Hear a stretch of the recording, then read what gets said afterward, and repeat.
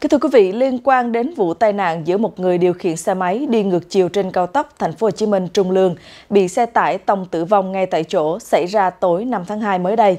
Báo pháp luật Thành phố Hồ Chí Minh đã nhận được nhiều ý kiến từ bạn đọc liên quan đến trách nhiệm pháp lý của các bên trong vụ việc này. Theo đó, người thì cho rằng xe máy đi trên đường cao tốc là sai nên phải bồi thường, người thì cho rằng tài xế ô tô phải bồi thường. Để có cái nhìn rõ hơn về trách nhiệm pháp lý của các bên trong vụ việc này, Báo Pháp luật Thành phố Hồ Chí Minh đã có cuộc trao đổi với luật sư Đàm Bảo Hoàng, đoàn luật sư Thành phố Hồ Chí Minh. Mời quý vị cùng theo dõi. À, xin chào luật sư Đàm Bảo Hoàng, cảm ơn ông đã tham gia chương trình ngày hôm nay. Thưa luật sư, dựa trên những thông tin ban đầu của vụ việc, à, theo quy định pháp luật thì à, trách nhiệm bồi thường thiệt hại à, trong vụ việc này được hiểu như thế nào ạ? Thì để mà để xác định rõ là trách nhiệm thuộc về ai, thì chúng ta phải xem xét từng vấn đề một. Chúng ta đều biết rõ ràng ở đây đường cao tốc là một cái đường dành riêng cho xe ô tô, các xe phương tiện chuyên dụng khác chứ không nằm trong xe máy. Đó, cái việc xe máy mà đi vào trong cái làn đường này là cấm, luật luật cấm. Cho nên là một trong những cái cơ bản đầu tiên là cái xe máy đi vào trong cái đường này là đã không được bảo vệ cái quyền lợi rồi. Và để tuy nhiên tuy nhiên về đang nói về vấn đề là bồi thường trách nhiệm dân sự xảy ra thì chúng ta hiểu rõ rằng phải mở rộng ra một tí. Bộ luật dân sự 2015 và ngay cả hướng dẫn à, nghị quyết của thẩm phán toàn tối cao thì cũng ghi rất rõ là chủ sở hữu hoặc là người sử dụng các cái phương tiện à, nguy hiểm cao độ thì xe ô tô được xem là nguồn nguy hiểm cao độ. Khi xảy ra vấn đề về về cái thiệt hại thì chủ sở hữu hoặc là người sử dụng vẫn phải bồi thường thiệt hại. Tuy nhiên nó lại trừ những trường hợp sau đây, trừ trường hợp lỗi hoàn toàn cố ý của người bị hại. Trường hợp thứ hai là sự kiện bất khả kháng hoặc là tình thế cấp thiết. Và trường hợp thứ ba là do pháp luật có quy định khác. Thì khi xảy ra trường hợp này thì mới loại trừ cái trách nhiệm bồi thường thiệt hại của chủ sở hữu. Dạ. à, tuy nhiên đấy thì nếu trong trường hợp nếu trong trường hợp mà luật pháp quy định rõ là cái uh, chủ xe tải cái cái phương tiện nó sẽ xe tải có lỗi ở đây thì phải bồi thường. Cụ thể những ai là phải bồi thường sau đây? Tôi ví dụ như là chủ sở hữu của chiếc xe tải phải bồi thường hoặc trường hợp thứ hai nếu người tài xế là cũng là xe tải cũng là vừa tài xế cũng là chủ thì người đó phải bồi thường. Tôi đang nói trường hợp là cơ quan chức năng kết luận là cái chủ xe tải có lỗi nha. Đấy trường hợp thứ hai là ai phải bồi thường nữa? Nếu à, cái à, xe tải này do chủ sở hữu mà để cho cái người tài xế tự lấy tự lấy và chủ xe tải cũng có lỗi trong cái việc để cái nguồn nguồn, nguy hiểm có độ để cho một cái người tài xế họ tự lấy thì hai bên cùng liên đối phải bồi thường đó là những người phải bồi thường nhưng với điều kiện là sau khi có kết luận của chức năng là cái xe tải này cũng có lỗi trong cái việc để xảy ra tai nạn còn nếu cơ quan chức năng kết luận rằng chủ xe tải này không có cái cái xe tải này này không có lỗi gì trong cái việc xảy ra thì họ không phải bồi thường trong cái thiệt hại xảy ra vừa rồi. Vậy luật sư có đánh giá như thế nào về trách nhiệm mà hình sự của tài xế xe tải trong vụ việc này không ạ? Để đánh giá về trách nhiệm sự của tài xế xe tải, chúng ta cần phải mổ xẻ ra hết chắc chắn rằng là phải căn cứ vào kết luận điều tra. Cơ quan điều tra họ phải giám định, xem xét. Đầu tiên là tài xế xe tải này có vi phạm pháp luật hay không, cụ thể là có chạy quá tốc độ cho phép hay không, rồi có say uống rượu bia khi điều khiển hay không, hay là có giữ khoảng cách theo quy định pháp luật đối với cái xe máy hay không và nhiều cái nguyên nhân khác thì họ phải xem xét điều tra à, thì sau khi cơ quan điều tra họ phải xem xét nhiều yếu tố đó rồi thì mới kết luận được là cái người tài xế này có vi phạm pháp luật hay không?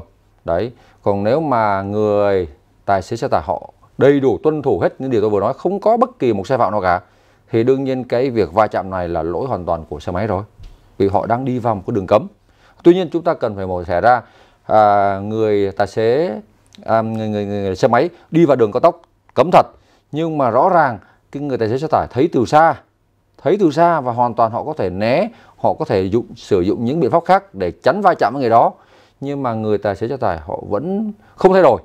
Họ vẫn cứ tiếp tục lao lao lao vào vẫn như khoảng cách như thế thì khi xảy ra tai nạn cũng cần phải xem xét lỗi của người xe tải. À, tuy nhiên lúc đó cái điều này hoàn toàn phụ thuộc rất lớn vào việc cơ quan điều tra. Họ phải xem xét.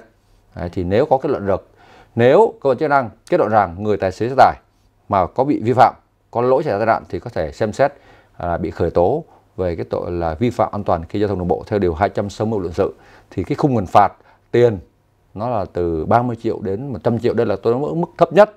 Và cái khung hình phạt có thể là 3 năm ấn treo tù treo. Và hình phạt tù giam có thể là từ 1 năm đến 5 năm 5 năm 5 năm tù. Thì đây là mức hình phạt thấp nhất của cái tội mà vi phạm cái điều khiển phương tiện giao thông Thưa luật sư, à, theo quy định của pháp luật thì xe máy không được chạy vào đường cao tốc. Vậy để tránh những tai nạn tương tự đáng tiếc xảy ra, luật sư có đề xuất gì với cơ quan chức năng trong vụ việc này không ạ? Theo tôi, thứ nhất, đầu tiên chúng ta cũng cần cần phải tăng cường cái việc tuyên truyền, phổ biến trên các báo chí, các phương tiện thông tin chúng rõ ràng lên cho là về mọi người hiểu rõ rằng là xe máy không thể được đi vào đường cao tốc và đi vào cao tốc như vậy thì họ bị thiệt hại những cái gì và bị vi phạm pháp luật cái gì ngoài việc tuyên truyền phổ biến rộng rãi về mặt ý thức rồi ngoài ra, cái việc đó thì chúng ta cần phải xem xét sửa lại luật theo tôi hiện nay với cái luật hiện nay về xử phạt, cái việc mà xe máy đi vào đường cao tốc, theo tôi còn quá nhẹ, không có yếu tố răn đề. cụ thể hiện nay đang bị xử phạt theo nghị định 100 2019 đó là các phương tiện xe mà đi vào đường cao tốc thì bị xử phạt tiền từ 2 đến 3 triệu và đồng thời bị à, tước bằng lái à, khoảng à, 4 đến à, tước bằng lái khoảng 2 đến 3 tháng. Theo tôi thì cái với hình thức này không có yếu tố răn đe. Nó quá nhẹ, chúng ta cần phải sửa lại là nếu xe máy đi vào đường cao tốc có thể tịch thu phương tiện hoặc phạt tiền từ 15 đến 20 triệu đồng. Ví dụ như thế thì nó mỗi yếu tố răn đe được người ta mới sợ được chứ còn nếu mà cái số tiền với cái luật hiện nay theo tôi thì không có yếu tố răn đe.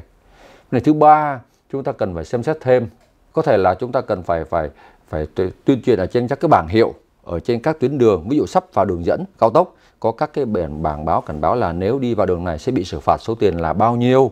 Đấy, rồi các hình phạt là như thế nào và thêm các biển báo cấm các phương tiện vào đường cao tốc một cách to hơn rõ ràng hơn. Thì yếu tố là để cho người ta tránh trường hợp đổ lỗi là sự nhầm lẫn à, đấy nếu trong cái đường mà nó hơi bị giống nhau nó gần nhau thì tránh được sự bảo đổ lỗi là à tôi bị nhầm. Chúng ta cần phải có các cái bảng hiệu tuyên truyền rộng rãi bản cấm còn to hơn nhiều hơn để cho người đi là không có lý do nào để họ có thể đi vào cái cái cái đường cao tốc được. Ngoài mình tuyên truyền ý thức thì cần phải có cái chế tài. Theo tôi còn nghiêm nữa tịch thu phương tiện hoặc là số tiền phạt nhiều hơn nữa thì mới và đồng thời theo tôi thêm nữa là gì? Là cũng cần phải cho mọi người là khi các phương tiện mà xảy ra cái xe máy đi vào đường cao tốc khi xảy ra cân thức thì chúng ta cũng cần phải xử phạt thật nặng thêm những cái phương tiện xe này. Mà nếu xảy ra tai nạn ra cũng cần phải xử phạt thêm lỗi chủ và chúng ta cũng phải bảo vệ các cái phương tiện xe cơ giới mà ô tô họ đi đúng làn đường của mình thì nó có một yếu tố răn đe hơn được. Thì ờ, cái việc mà chúng ta có các trạm ngăn chặn như vậy á thì đương nhiên tôi, tôi theo hoàn toàn tán thành rồi. Nhưng mà cái đó là thực ra cái đó là chúng ta chỉ giải quyết cái ngọn thôi. Yeah. Dạ. Bởi vì nếu như vậy thì lúc nào chúng ta cũng phải có người cân gác 24 trên 24 mà xảy ra một cái không có người thì xảy ra. Yeah.